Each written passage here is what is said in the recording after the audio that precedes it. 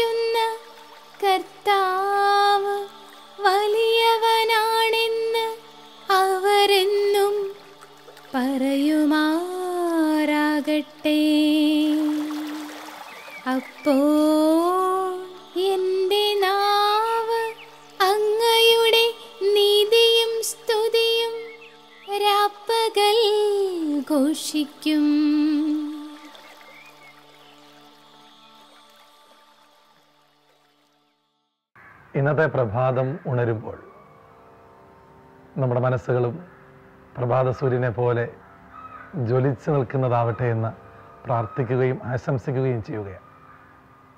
ഇന്നത്തെ ദിവസം നമുക്ക് പ്രാർത്ഥിക്കാം. ഈശോയെ അങ്ങയുടെ മനസ്സുള്ളവരാക്കണേ ഞങ്ങളെ ഓരോരുത്തരെയും. കർത്താവിന്റെ മനസ്സുള്ളവരാവുക. വിജയിക്കണമെങ്കിൽ ജീവിതത്തിൽ സമാധാനമുണ്ടാകണമെങ്കിൽ ഞാൻ പറയും നിങ്ങൾ കർത്താവിന്റെ മനസ്സുള്ളവരാവുക. എന്താണ് കർത്താവിന്റെ മനസ്സ്? എന്താണ് ഈശോ? അത് ശാന്തതയാണ് അത് എളിമയാണ്.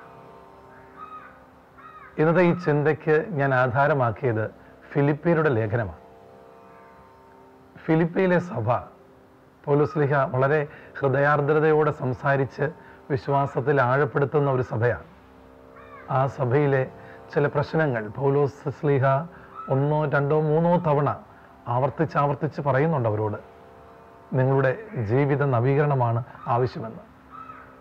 കർത്താവിന്റെ മനസ്സുള്ളവരാകാനായിട്ടുള്ള ഒരു ഉപദേശം ഇന്ന് ഞാൻ നിങ്ങളുടെ മുമ്പിൽ വെക്കുമ്പോൾ ഫിലിപ്പിയിലെ സഭ അല്ലെ ഫിലിപ്പോയിലെ സഭയുടെ പ്രശ്നം എന്തായിരുന്നു? അവരുടെ വിശ്വാസത്തിന്റെ പ്രശ്നമായിരുന്നില്ല. മറിച്ച് ഒരു കൃത്യതയില്ലായ്മ ശ്രദ്ധയില്ലായ്മ കൃത്യതയില്ലാത്തൊരു ജീവിതം. ശ്രദ്ധക്കുറവും കൃത്യതയില്ലാത്തൊരു ജീവിതവും കാരണം വീഴ്ച പറ്റിയ ഒരു സഭ.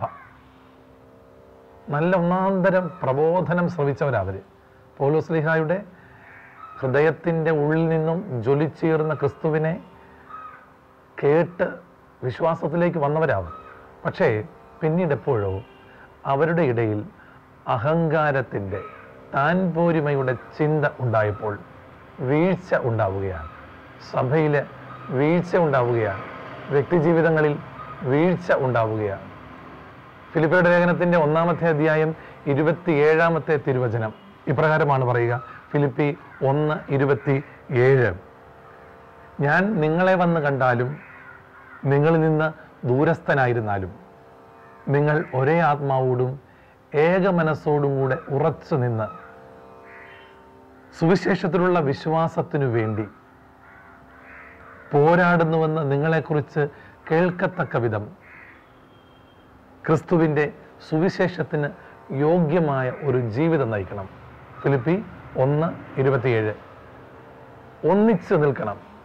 ഓരോരുത്തരും ഒറ്റയ്ക്കൊറ്റയ്ക്ക് ഒറ്റയ്ക്ക് നിൽക്കുന്നത് അപകടമാണ്.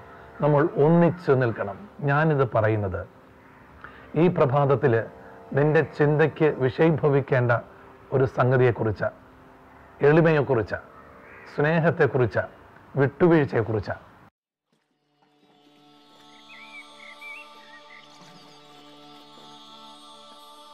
എന്റെ ദൈവമായ കർത്താവേ അങ്ങയുടെ നീതിക്കൊത്ത് എനിക്ക് നീതി നടത്തിത്തരണമേ. അവർ എന്റെ മേൽ വിജയമാഘോഷിക്കാൻ ഇടയാക്കരുതേ. ഞങ്ങളുടെ ആഗ്രഹം സാധിച്ചുവെന്ന് അവർ പറയാതിരിക്കട്ടെ. ഞങ്ങൾ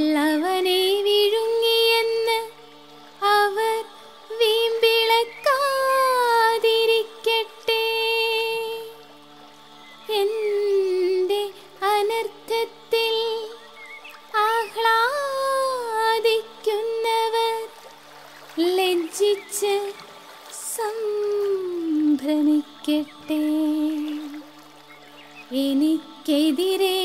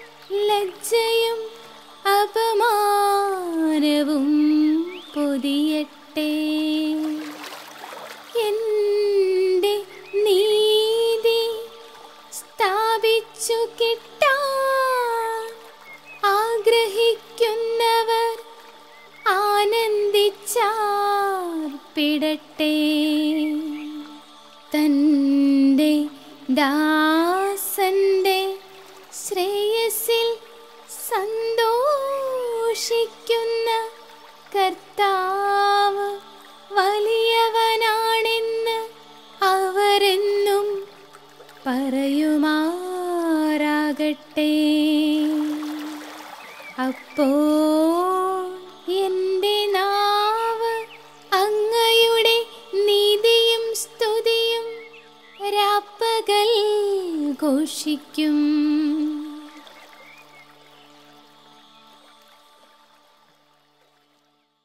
കുടുംബജീവിതം നയിക്കുന്നവരെ പൗരോഹിത്യ സന്യസ്ത ആധ്യാത്മിക ജീവിതം നയിക്കുന്ന സഹോദരങ്ങളെ നമ്മളെല്ലാം ആത്മീയ സന്താനങ്ങളാണ്. ദൈവത്തിന്റെ സ്വന്തമാണ്. അങ്ങനെയുള്ളവരാണെങ്കിൽ ഒരേ മനസ്സോടെ ഒരേ ചിന്തയിൽ ജീവിക്കാൻ തയ്യാറാവണം എന്നുള്ളതാണ്. ഒരു വചനം ഇപ്രകാരം പറയുന്നു. എഫ് എസോസ് നാലാമത്തെ അധ്യായം മൂന്നാം വാക്യം. എഫ് എസോസ് നാലാം അധ്യായം മൂന്നാം വാക്യം. സമാധാനത്തിന്റെ ബന്ധത്തിൽ ആത്മാവിന്റെ ഐക്യം നിലനിർത്താൻ ജാഗരൂകരായിരിക്കുവിൻ. സമാധാനത്തിന്റെ ബന്ധത്തിൽ ആത്മാവിന്റെ ഐക്യം നിലനിർത്താൻ ജാഗരൂകരായിരിക്കും ഇത് പറയുന്നത് ഇന്നത്തെ സഭയിൽ ഇന്നത്തെ നമ്മുടെ കുടുംബങ്ങളിൽ നമ്മുടെ സാമൂഹിക രാഷ്ട്രീയ ചുറ്റുപാടുകളിൽ ഈ ഒരു ഐക്യം ഈ ഒരു സമാധാനം എങ്ങനെയൊക്കെയോ നഷ്ടപ്പെടുന്നുണ്ട്. പ്രിയമുള്ളവരെ ഇന്ന് ഈ പ്രഭാത സൂര്യൻ അതിന്റെ കിരണങ്ങളാൽ നമ്മളെ ധന്യരാക്കുമ്പോൾ ഈ പ്രഭാതത്തെ വരവേൽക്കാൻ നിനക്ക് സാധിച്ചു. ആ വലിയ കൃപ കിട്ടിയിട്ടുള്ള നീ നിന്റെ ജീവിതം കൊണ്ട് നിന്റെ വ്യക്തി ജീവിതം കൊണ്ട് നിന്റെ കുടുംബ ജീവിതം കൊണ്ട് നീ ആയിരിക്കുന്ന സാമൂഹിക സാഹചര്യങ്ങളിൽ സമാധാനത്തിന്റെ ഐക്യത്തിന്റെ ബന്ധം നിലനിർത്താൻ ശ്രമിക്കണം. അതിന് ആവശ്യമായിട്ടുള്ള ഏറ്റവും പ്രധാനമായ ഒന്നാണ് കർത്താവിന്റെ മനസ്സിനെ ഉൾക്കൊള്ളുക. എളിമയും ശാന്തതയുമുള്ള ദൈവത്തിന്റെ മനസ്സ് ഉണ്ടാവുക. ഞാൻ ശാന്തഹൃദയനും വിനീത ഹൃദയനുമാണ് ശാന്തത വിനീത ഹൃദയം ദൈവത്തിൽ നിന്ന്. ഞാനെന്ന വ്യക്തി മാത്രമല്ല ഉള്ളത്. നമ്മളെല്ലാവരും ജീവിക്കുന്ന ചുറ്റുപാടുകളും സാഹചര്യങ്ങളുമാണ്. ഇനി ഞാൻ മാത്രമേ ഉള്ളൂ എന്ന് ചിന്തിച്ചാൽ അങ്ങനെ ഒരു ഭർത്താവ് ചിന്തിച്ചാൽ അങ്ങനെ ഒരു ഭാര്യ ചിന്തിച്ചാൽ എന്റെ ഇഷ്ടം എന്റെ മാത്രം ഇഷ്ടം. ഞാൻ പറയുന്നത് നീ കേട്ടോണം. അടിച്ചമർത്തലിന്റെ മറ്റുള്ളവരെ പരിഗണിക്കാതിരിക്കുന്നതിന്റെ സ്വരം നിന്നിൽ നിന്നുണ്ടായാൽ സമാധാനക്കേടാകുമേ നഷ്ടപ്പെട്ടു പോകുമേ കൈവിട്ടു പോകും ജീവിതം. അതുകൊണ്ട് കർത്താവിന്റെ മനസ്സ് ഉള്ളവരാവുക. ഫിലിപ്പയുടെ ലേഖനം രണ്ടാമത്തെ അധ്യായത്തിന്റെ അഞ്ചാം വാക്യം ഇപ്രകാരമാണ്. യേശു ക്രിസ്തുവിനുണ്ടായിരുന്ന ഈ മനോഭാവം നിങ്ങളിലും ഉണ്ടാവട്ടെ. യേശു ക്രിസ്തുവിന് ഉണ്ടായിരുന്ന ഈ മനോഭാവം. എന്താണ് യേശു ക്രിസ്തുവിന് ഉണ്ടായിരുന്ന മനോഭാവം? ഫിലിപ്പി രണ്ട് ഒന്ന് തൊട്ട് നാല് വരെ കൃത്യം നിങ്ങൾ ഇന്ന് പറ്റുവാണെങ്കിൽ വായിക്കണം. ഇന്നത്തെ ഈ പ്രഭാതത്തിൽ ഫിലിപ്പിയുടെ ലേഖനം രണ്ടാമത്തെ അധ്യായം ഒന്ന് തൊട്ട് നാല് വരെ ഒന്ന് വായിച്ചിട്ട് അഞ്ചാം വാക്യം കർത്താവിനുണ്ടായിരുന്ന ഈ മനോഭാവം നിങ്ങൾക്കുണ്ടായിരിക്കണം. എന്താണ് മനോഭാവം? അവന്റെ രീതി എന്താണെന്ന് ഫിലിപ്പി രണ്ടാമത്തെ അധ്യായം ആറ് തുടങ്ങിയിട്ടുള്ള വചനങ്ങളിൽ പറയുന്നുണ്ട്. എന്താണ്? ദൈവത്തിന്റെ രൂപത്തിലായിരുന്നെങ്കിലും അവൻ ദൈവവുമായിട്ടുള്ള സമാനത നിലനിർത്തേണ്ട കാര്യമായി പരിഗണിച്ചില്ല. തന്നെ തന്നെ ശൂന്യനാക്കിക്കൊണ്ട് ദാസന്റെ രൂപം സ്വീകരിച്ചു. തുടങ്ങി അങ്ങോട്ട് ദൈവത്തിന്റെ സ്വഭാവത്തെക്കുറിച്ച് പറയുകയാണ്. ദാസന്റെ രൂപം സ്വീകരിച്ചു. The nature of God is the nature of servant ദാസന്റെ രൂപം സ്വീകരിച്ചു. തന്നെ തന്നെ ശൂന്യനാക്കി. ഞാൻ ദൈവമാണ് എന്ന് പറഞ്ഞ് ആകാശത്തിൽ ഇരുന്ന് ജനത്തെ ഭരിക്കുന്ന ഒരു ധാർഷ്ട്യത്തിന്റെ ദൈവമല്ല. ദൈവത്തോടുള്ള സമാനത നിലനിർത്തേണ്ട കാര്യമായി പരിഗണിക്കാതെ അവിടുന്ന് തന്നെ തന്നെ ശൂന്യനാക്കി ദാസന്റെ രൂപം സ്വീകരിച്ച് നമ്മിൽ ഒരുവനായി. എന്ന് വെച്ചാൽ അവൻ ദൈവത്വം നഷ്ടപ്പെടുത്തി എന്നല്ല. മഹത്വത്തിന്റെ വസ്ത്രം ഒരു വശത്തേക്ക് അവൻ മാറ്റി. ഈ മഹത്വത്തിന്റെ വസ്ത്രം ധരിച്ചാണ് എത്തുന്നെങ്കിൽ നമുക്ക് നോക്കാൻ പോലും പറ്റില്ല കേട്ടോ. അവൻ ഒരു വശത്തേക്ക് അത് മാറ്റി മനുഷ്യന് കാണാൻ പാകത്തിൽ നിന്നുകൊടുത്തു ഈ കാലഘട്ടത്തിൽ നമ്മൾ ചിന്തിക്കുന്നുണ്ട് ഒരു എളിയ ശിശുവായിട്ട് പുൽത്തൊഴുത്തിൽ കാലിത്തൊഴുത്തിൽ പിറക്കുന്ന അത്രയും ശൂന്യത. ഇനി ഒരു ഒരു ഒരാൾക്കും തന്റെ ദാരിദ്ര്യത്തെക്കുറിച്ച് പരിഭവപ്പെടാൻ പറ്റില്ല. കാരണം അതിലും വലിയ ദാരിദ്ര്യം അനുഭവിച്ച സ്വർഗീയ രാജാവ് ഏറ്റവും ദാരിദ്ര്യത്തിലേക്ക് അപ്പൊ അത്രമാത്രം എളിമയിലേക്ക് വന്നെങ്കിൽ അവിടെ ഞാൻ പോരിമയോ താൻ ഭാവമോ ഒന്നുമില്ല. ഇതൊരു പക്ഷേ ഇന്ന് നമ്മുടെയൊക്കെ ജീവിതങ്ങളിലാണ് എളിമപ്പെടേണ്ട സ്നേഹിക്കേണ്ട മറ്റുള്ളവരോട് പരിഗണന കാണിക്കേണ്ട ജീവിതത്തിന് പകരം ഞാൻ എന്ന വലിയൊരു സംഭവം ഞാനൊരു സംഭവമാണ് കേട്ടോ എന്ന് ചിന്തിച്ചു പോകുന്ന ഒന്ന് അവിടെ പരാജയമാണ്. ഫിലിപ്പിയിലെ സഭ പരാജയപ്പെടാൻ കാരണം അവരുടെ ഇടയിൽ പലരും ഞാനാണ് ഞാൻ ചിന്ത കയറിപ്പോയതാ. അങ്ങനെ ആകരുതായിരുന്നു. പൗലോസിന്റെ പ്രസംഗത്തിൽ മുഴച്ചു നിന്ന ദൈവസ്നേഹത്തിന്റെ പച്ചപ്പ് ജീവിച്ചിരുന്നെങ്കിൽ മറ്റുള്ളവർക്ക് വേണ്ടി സ്വയം താഴ്ത്തി കൊടുക്കുന്ന താന്നു കൊടുക്കുന്ന ഒന്നാകുമായിരുന്നു ഓരോരുത്തരുടെയും ജീവിതമെന്നുള്ളത്. എളിമപ്പെടണം വിനയമുണ്ടാകണം. ഒന്ന് പത്രോസ് അഞ്ചാം അധ്യായം അഞ്ചാം വാക്യം. അവിടെ പറയുന്നു പത്രോസ് ലേഖ പറയുക. ഒന്ന് പത്രോസ് അഞ്ച് അഞ്ച്. അപ്രകാരം യുവാക്കന്മാരെ നിങ്ങൾ ശ്രേഷ്ഠന്മാർക്ക് വിധേയരായിരിക്കുവിൻ. നിങ്ങൾ ശ്രേഷ്ഠന്മാർക്ക് വിധേയരായിരിക്കുവിൻ. വിനയത്തിന്റെ അങ്കി ധരിക്കുവിൻ. ദൈവം വിനയത്തിന്റെ അങ്കി ധരിക്കണം. ദൈവം അഹങ്കാരികളെ ചിതറിക്കുകയും വിനയമുള്ളവർക്ക് സമൃദ്ധി കൊടുക്കുകയും ചെയ്യും. സമൃദ്ധി കൊടുക്കുകയും ചെയ്യും. അപ്പം വിനയത്തിന്റെ എളിമയുടെ ആ ഭാവം അത് നാം അനുകരിക്കേണ്ടതാണ് ഈശോയിൽ നിന്ന്.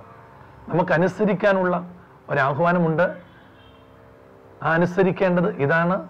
ദൈവത്തിന്റെ സ്നേഹത്തെ അത് ചേർത്ത് വെച്ച് എളിമയുടെയും വിട്ടുകൊടുക്കലിന്റെയും വിധേയപ്പെടലിന്റെയും അല്ലാതെ ഞാനാണ് അഹങ്കാരമല്ല അഹംഭാവമല്ല സെൽഫ് കോൺസെൻട്രേറ്റഡ് അല്ല. സഭ ഒരു കൂട്ടായ്മയാണ് സിനഡാലിറ്റിയെ കുറിച്ചൊക്കെ നമ്മൾ ചർച്ച ചെയ്യുന്നു അല്ലേ? എല്ലാവരെയും ചേർത്ത് പിടിക്കുന്നു. ആരും അന്യരോ പരദേശികളോ അല്ല. നമ്മളെല്ലാം യേശു ക്രിസ്തുവിൽ ഒന്നാണ് എന്ന ചിന്ത. ആരും അന്യരല്ല. ആരും ഇല്ലായ്മ ചെയ്യപ്പെടേണ്ടവരുമല്ല. ആരും പട്ടിണി കിടക്കേണ്ടവരുമല്ല. എല്ലാവരുടെ മേലും എല്ലാവർക്കും ഉത്തരവാദിത്വം ഉണ്ട് എന്ന ചിന്തയാണ്. കർത്താവിന്റെ മനസ്സുള്ളവരാവുക. കർത്താവ് വന്നിട്ട് അവന് ഒരിക്കലും പാവപ്പെട്ടവനോട് ചേർന്ന് പണക്കാർക്കെതിരായിരുന്നില്ല അവൻ. പണക്കാരനോട് ചേർന്ന് പാവപ്പെട്ടവർക്കും എതിരായിരുന്നില്ല എല്ലാവർക്കും എല്ലാമായിരുന്നു. ഞാൻ എന്ത് ചെയ്യണമെന്നുള്ള ചോദ്യം what can I do for you പലപ്പോഴും ആവർത്തിച്ച് കേട്ടിരിക്കുന്ന ഒരു വാക്കാണ്. ഇത് ഈശോ ഞാൻ നിനക്ക് വേണ്ടി എന്ത് ചെയ്തു തരണമെന്നാണ് നീ ആഗ്രഹിക്കുന്നത്?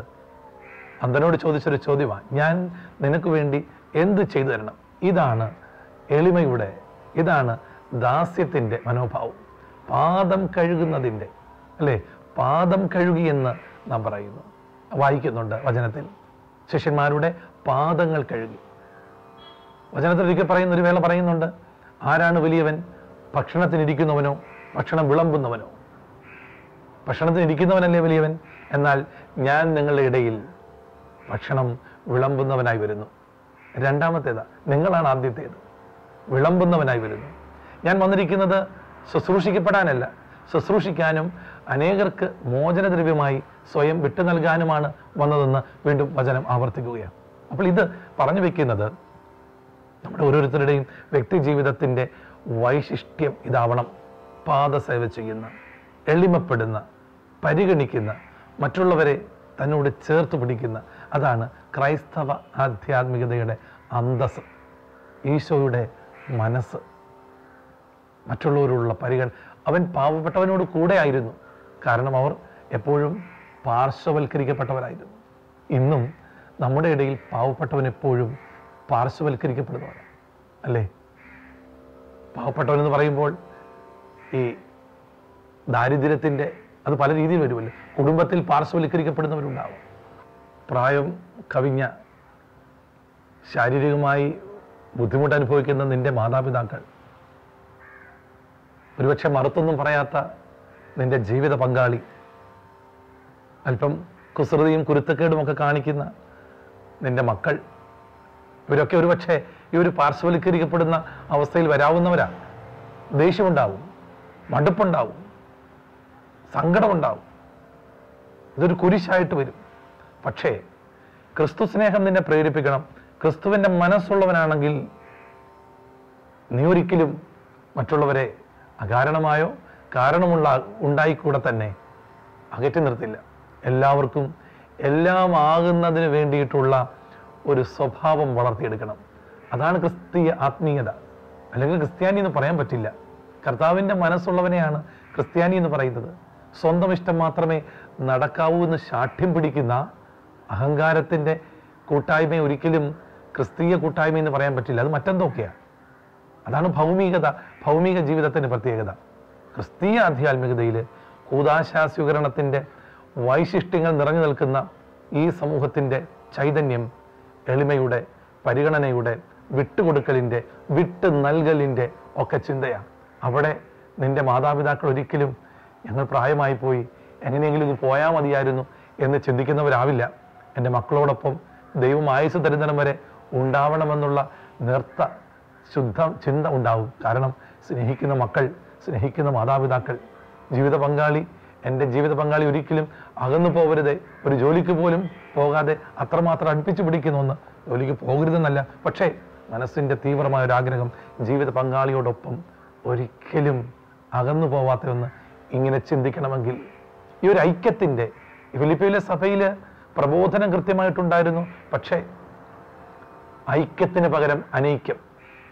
ഒന്നാകലിന് പകരം പലതാകൽ.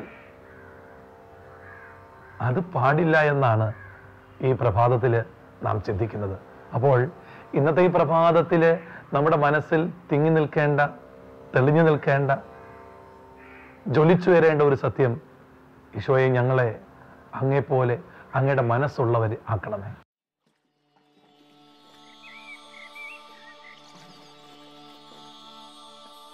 എന്റെ ദൈവമായ കർത്താവേ അങ്ങയുടെ നീതിക്കൊത്ത് എനിക്ക് നീതി നടത്തി തരണമേ അവർ എന്റെ മേൽ വിജയമാഘോഷിക്കാൻ ഇടയാക്കരുതേ. ഞങ്ങളുടെ ആഗ്രഹം സാധിച്ചുവെന്ന് അവർ പറയാതിരിക്കട്ടെ. ഞങ്ങൾ അവനെ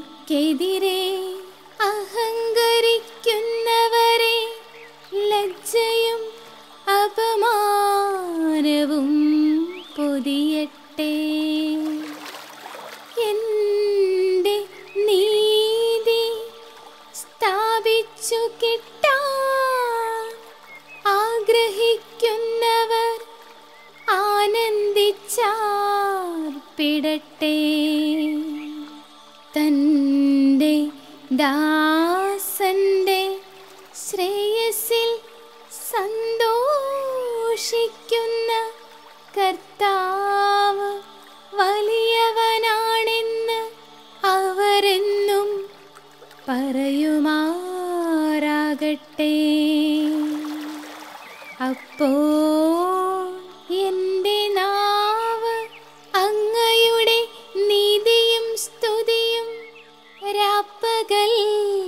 ഘോഷിക്കും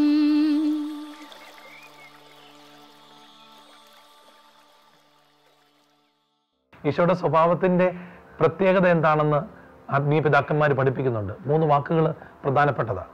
മൂന്ന് ഗ്രീക്ക് വാക്കുകൾ ഒന്ന് കൊയിനോനിയ രണ്ട് ഖനോസിസ് മൂന്ന് ദിയാക്കോണിയ. കൊയിനോനിയ ഗ്രീക്ക് വാക്കിന്റെ അർത്ഥം കൂട്ടായ്മ എന്നാണ്. കൂട്ടായ്മ. ദൈവം ഒരു കൂട്ടായ്മയാണ്. ഈശോ ഒരു കൂട്ടായ്മയാണ്.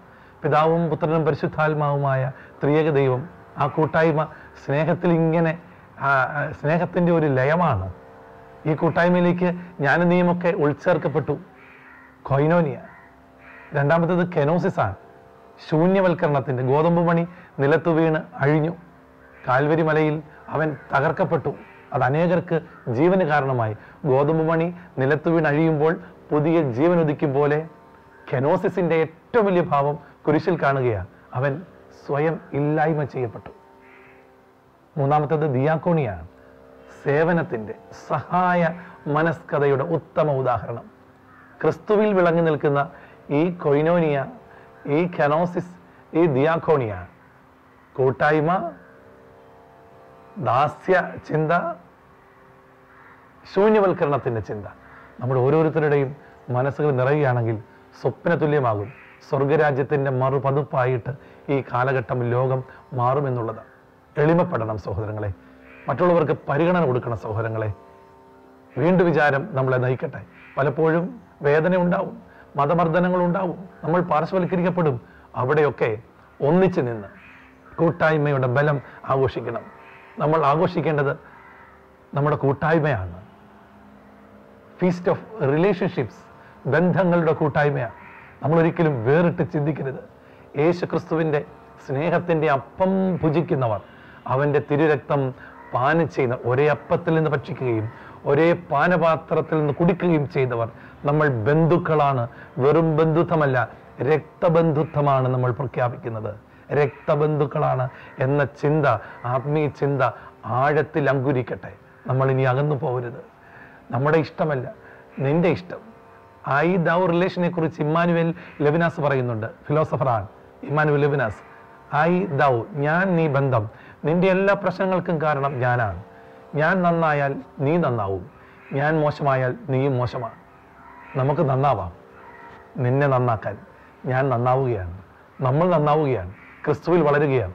ക്രിസ്തുവിന്റെ മനസ്സിതാണ് എളിമയുടെയും സ്നേഹത്തിന്റെയും ശാന്തതയുടെയും വിട്ടുകൊടുക്കലിന്റെയും വിധേയത്വത്തിന്റെയും ശൂന്യവൽക്കരണത്തിന്റെയും കൂട്ടായ്മയുടെയും ദാസ്യവേല ചെയ്യുന്നതിന്റെയും അങ്ങനെ പരമോന്നതമായ ആ സന്തോഷ സുഭകമായ ഒരു ജീവിതം നയിക്കാൻ ഇന്നത്തെ സൂര്യ ശോഭ നിന്നെ ഒരു വലിയ അത്ഭുതത്തിലേക്ക് വലിച്ചടിപ്പിക്കട്ടെ ചേർത്ത് വയ്ക്കട്ടെ എന്ന് പ്രാർത്ഥിക്കുക. ഈശോയെ നിന്റെ മക്കൾ ഇന്നീ പ്രഭാതത്തിൽ ഒന്നിച്ചു പ്രാർത്ഥിക്കുന്നു. നിന്റെ മനസ്സുള്ളവരായി എളിമയുള്ളവരായി ഞങ്ങളെ വളർത്തണമേ. ഞങ്ങളുടെ കുടുംബ പശ്ചാത്തലത്തിൽ പരസ്പരം സമർപ്പിക്കുന്ന ജീവിത പങ്കാളികളും മാതാപിതാക്കൾക്ക് വിധേയപ്പെടുന്ന മക്കളും മക്കളെ പൊന്നുപോലെ കരുതുന്ന മാതാപിതാക്കളും പരസ്പരം മാതൃക നൽകുന്ന സ്നേഹത്തിന്റെ ഉത്തമ ഉദാഹരണങ്ങളായി വളർന്ന് പ്രശോഭിക്കാൻ മറ്റൊരു ക്രിസ്തുവായി ആൾട്ടർ ക്രിസ്തുസ് അനദർ ക്രൈസ്റ്റ് മറ്റൊരു ക്രിസ്തുവായി ഈ ഭൂമിയിൽ മറ്റുള്ളവർക്ക് മുമ്പിൽ അവതരിക്കാനും സ്നേഹത്തിന്റെ എളിമയുടെ സുവിശേഷം അതിന്റെ പച്ചപ്പിൽ പരമാർത്ഥത്തിൽ പ്രഖ്യാപിക്കാനും ഞങ്ങൾക്കിടയാകണമേ. ദൈവം നമ്മെ ഓരോരുത്തരെയും സമൃദ്ധമായിട്ട് അനുഗ്രഹിക്കട്ടെ.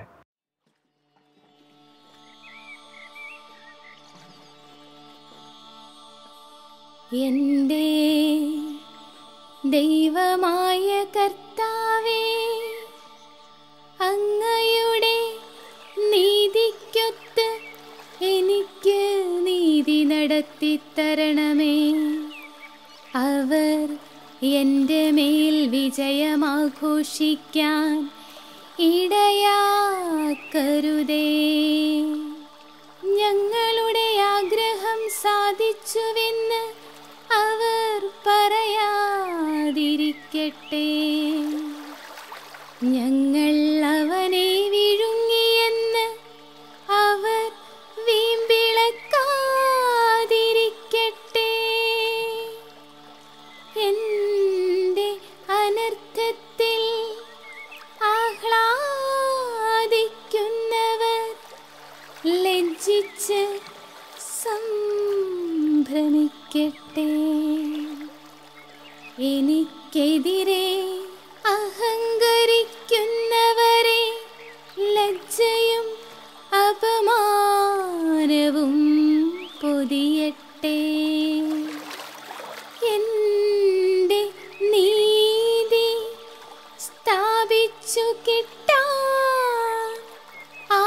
ആഗ്രഹിക്കുന്നവർ ആനന്ദിച്ചാർപ്പിടട്ടെ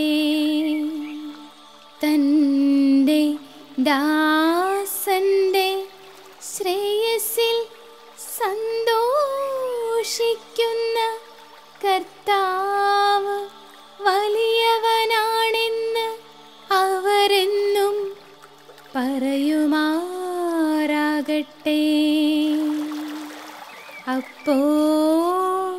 എന്റെ നാവ് അങ്ങയുടെ നീതിയും സ്തുതിയും രാപ്പകൽ ഘോഷിക്കും.